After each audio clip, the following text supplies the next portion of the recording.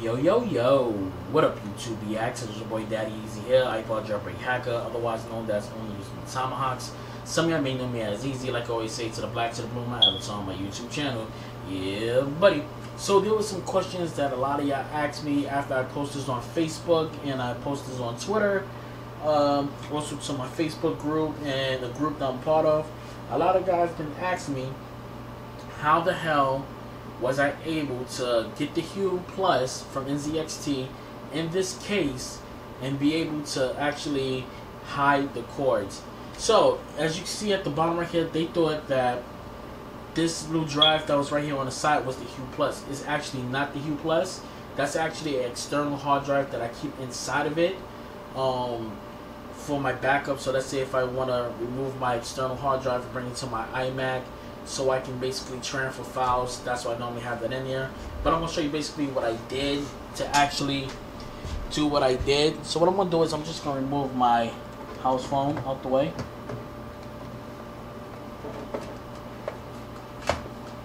Okay.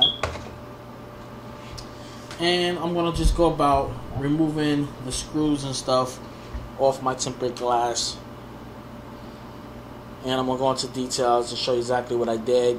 Um, there was a lot of modifications I had to do towards this. So when I actually started building this PC and um, removing a lot of stuff, it took me some time to actually do it. Now the thing is, my motherboard only has two USB hubs inside of it.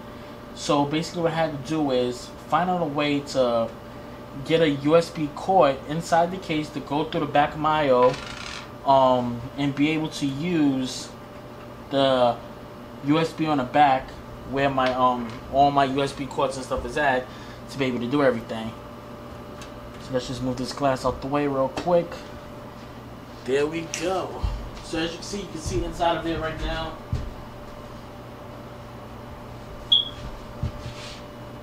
Okay. So as you can see inside, you can see right there is my Hue Plus basically what I did was I took some zip ties and I ran it through the case, put a couple of zip ties together, and was able to you know be able to hold it and hold that in place. So my Hue Plus is not going anywhere. As you can see, I can move it, nothing's gonna happen. Like I said, this is an external hard drive that I just placed right there. I just put that there. Um, right here at the bottom, I have a Bluetooth USB right here. As you can see right there. I have a Bluetooth um, RGB head um, thing that basically I use an app to control everything inside of it. Um, if you see my program, you see that I have RGB lights on my gaming chair. If you see right here, I have an app right here that's called Magic Light. So if I hit that, and you're gonna see what I'm able to do. I'm searching for it. So what I'm gonna do is go to my second one because I have multiple RGBs already.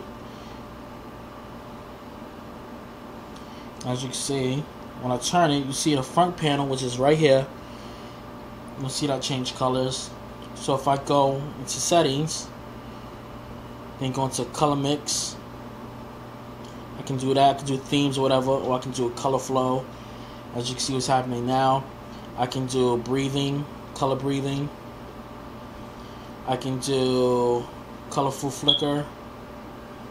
I can change the speed of it uh, single jump. Let's put it real fast. As you can see what's happening. Um, I could put double wave.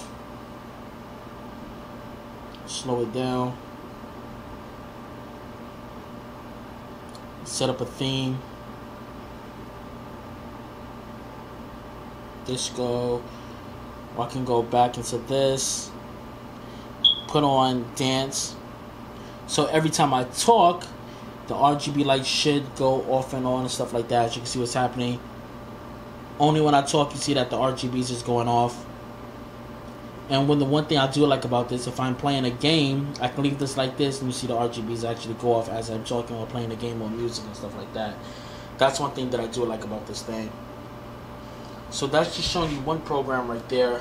Um, you're gonna see it continue stuff like that. Yeah, but I did a lot of things to hide a lot of cords in here. As you can see, I got my Kraken X41 right here.